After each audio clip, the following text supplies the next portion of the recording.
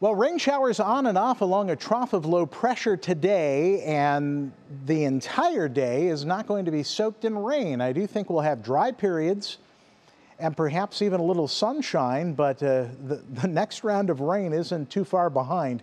As this trough continues to slide to the south, we're opening up the floodgates over the lakes. Of course, a little atmospheric injection of moisture will increase the probability that we'll be dodging raindrops not only through the nighttime hours tonight, but on into the day Tuesday as that colder air tries to establish itself.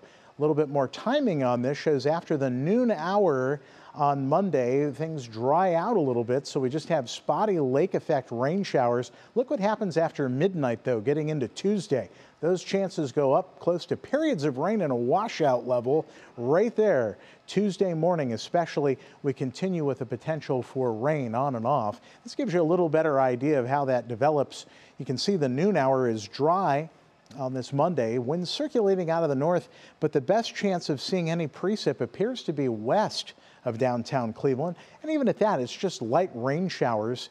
You can see how spotty it is even at the dinner hour. And then that really starts to expand. After midnight tonight into early Tuesday morning, we're going to be dealing with periods of heavy rain, maybe even a few rumbles of thunder. There's enough instability around for that. Note the temperatures starting off close to 40. Won't do much of a recovery on Tuesday. Tuesday's highs near 50 or so.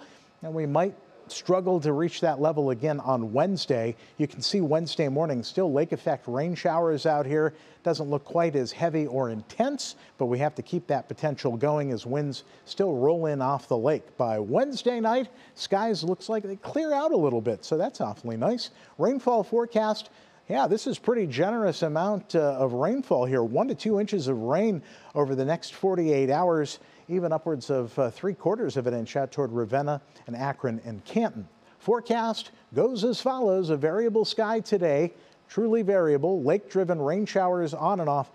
Cool high of 54 and the rain is uh, going to assemble in uh, full fashion tonight. A cool raw night down to 41 and then tomorrow we're looking at a high near 50 with late clouds, temperatures basically in the 40s throughout the day. Have a look at the seven day, near 50 on Tuesday, as we mentioned. I think Wednesday we might uh, struggle to get into the low 50s after a morning shower, maybe a break or two of sun.